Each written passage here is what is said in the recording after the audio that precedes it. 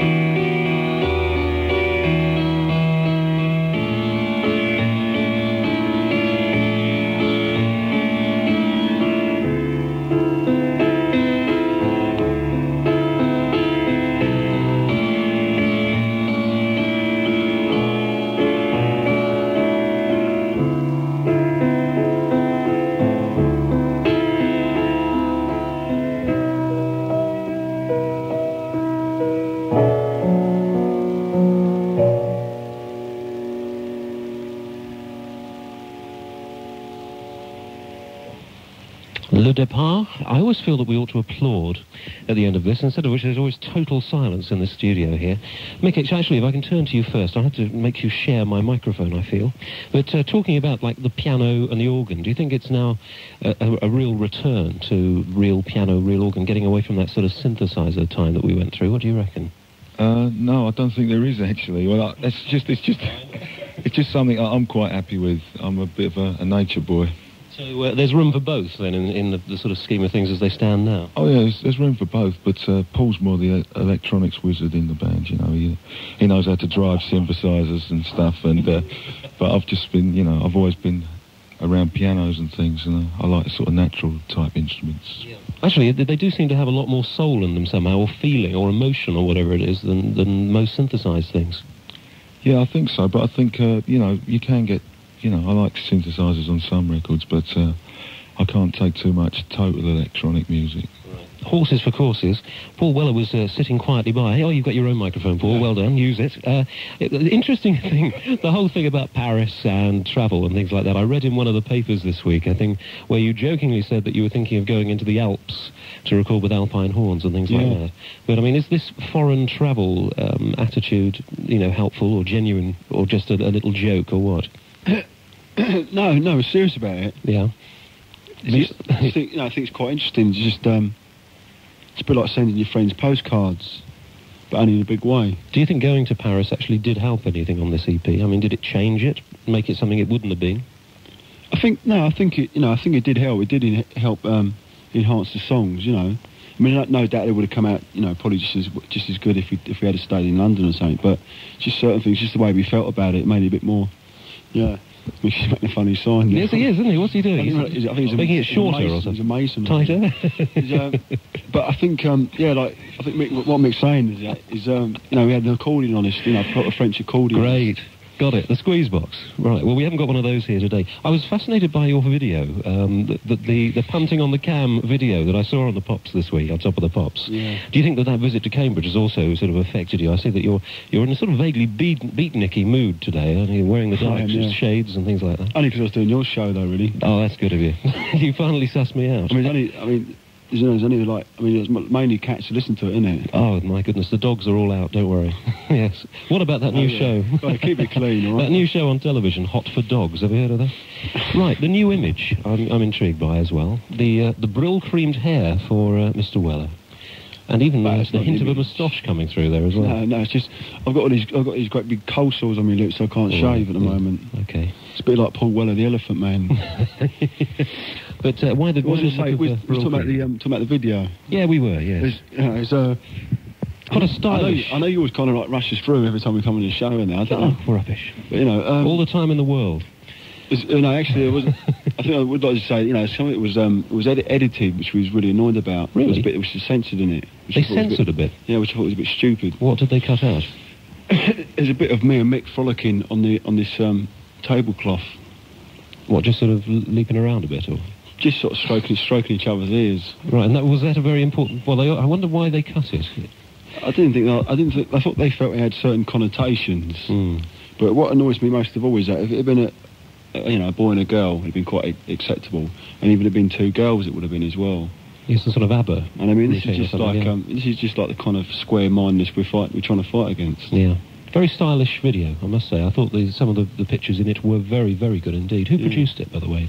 So Tim Pope has done all our videos so Oh, far. he's We, good. we really worked well with him. It was a good one. together. All right. Maybe we'll have a chance to see the full version sometime on television. Yeah. What about live work for the Style Council? The, the, I keep hearing murmurs that you are going to be going out live soon. Shall- I mean, there's a nod there from Paul and a, a, a dodgy look from Mick here. So, I'm the last to hear about anything, so uh, you probably know a bit more than me about it. Mr. Weller, what's going to happen? No, we will, um, you know, we definitely want to do some live gigs, and we, and we will do some this year. But I don't think till uh, probably not till December. It'd be Um, rather nice to go out in this sort of situation, wouldn't it? And play a few small, intimate well, we clubs. thought about this, we, and it's something we'd probably do next year. We felt we thought we might do um, have more like a like, very small little combo, and maybe do something like that. Which we quite. We're not. I mean, we, you know, we haven't got. We don't want to fi- get any fixed plans at all. We just want to keep changing the lineup, like we said originally, anyway. So we'll have. We'll have probably this year. We will probably we'll probably do some gigs with um with a brass lineup. But I think we'll change it. I think we'll probably get. You know, one idea is to have uh, some strings next year. Maybe you know, dip. I think you know, trying to include a little bit of sort of classical Yeah. feeling into it. And don't forget the Alpine horns as well. We Bring them along. Well, you know, we are, we are actually. I probably think one of the first places we'd probably play, you know, would be Switzerland. Great. Right at the top of a mountain somewhere. Look forward to it. Um, anyway, we've got you here live performing today, and the second of the two numbers you've got is the Paris match itself. Right. All right, look forward to that, and I think that your microphone comes into play this time round, yes? A little bit of a reverb on it. A bit of reverb. Well, can we put the reverb on? We'll just put the reverb. Just test the reverb there, Paul. Ah. Perfect. Mr. Weller, Mr. Talbot, thank you for talking to us. Right, Here's thank the. Paris match.